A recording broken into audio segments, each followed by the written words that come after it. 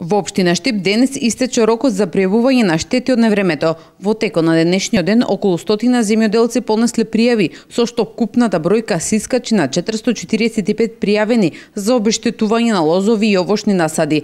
Само едно од барањата се однесува на нанесени штети на пчелно семејство. Од општината појаснува дека ресорното министерство за земјоделие има обврска да ги достави извештаите со пријавите за штети до владата на Република Македонија. До денес до 14 часот доставени направени уште стотина нови барања за обештетување, со што вкупната бројка изнесува 445 пријави. Најголем дел се однесуваат на обештетување на лозови и овошни насади и само едно барање за пчелно семејство. По примен допис од Министерството за земјоделство, а и во консултации со соседни општини, најверојатно општина Штипки има само обврска да ги извести сите баратели кои имаат поднесено пријави за штети, и истите да ги достават и до ресорното Министерство за земјоделство.